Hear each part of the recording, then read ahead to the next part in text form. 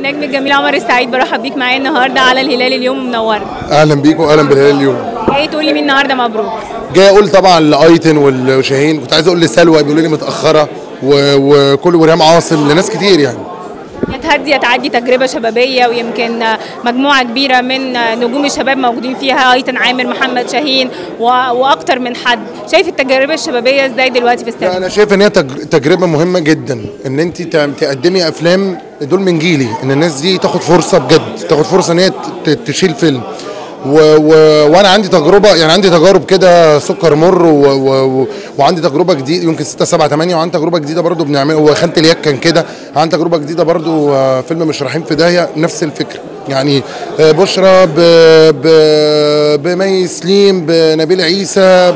بريم مصطفى بأحمد صلاح حسني. فالأفكار دي بتبقى كويسة الناس إنك ذكرت بقى مش رايحين في داهية هي تجربة برضو شبابية ويمكن مختلفة ويمكن دايما بشوفك آه، بتنزل صور من الكواليس على صفحتك الشخصية على الفيسبوك.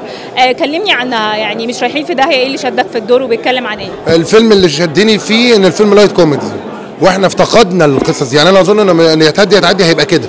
light كوميدي مش فاهم يعني أنت هتعمل فيلم كوميدي عايز تضحك الناس بالعافية فبيطلع أغلب الأفلام دمها تقيل. يا عايز تعمل فيلم اكشن والفيلم ده اللي شدني فيه إنه light كوميدي زي الأفلام بتاعت السبعينات والستينات واتفرج عليها فيلم لطيف يعني. يمكن دايما بنشوفك في الشاب الجان في الشاب المغرور. لا لا. ده مرة مع هيفا يا جماعة غير كده لا والله.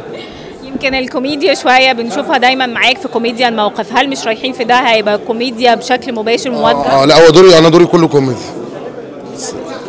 بقدم آه، شخصية سيف. آه، واحد بيشتغل في شركة ريل استيت بيبيع بيوت وكده و- وبعدين هتفهمي بقى مع الأحداث اللي هيحصل. ما ما حد- يعني مقررين هينزل إمتى؟ المفروض الفيلم إن شاء الله هو تأليف أحمد مجدي وندى أكرم وهينزل آه، وإخراج أحمد صالح.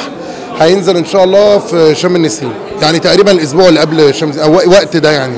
معظم الأفلام اللي هتنزل في شم النسيم هتبقى أفلام شبابية ويمكن كمان سكر بره قرر إن هو ينزل في شم النسيم وتجربة شبابية برضو مش خايف من المنافسة؟ إيه الفيلم اللي هنزل؟ سكر بره هينزل في شم النسيم. آه لا إحنا ونصيبنا بقى. هتعملي إيه؟ ما انت اي موسم هتروحي تلاقي افلام تانية فاحنا ونصيبنا. يمكن ال- الموسم شم النسيم متزامن شوية مع إن اللي نازلين فيه كلهم تجربة شبابية. يا يبقى خير. يا ريت. بقى ناس كتير في سيني بتشتغل يا ريت. يبقى ربنا يسهل يعني لينا كلنا إن شاء الله.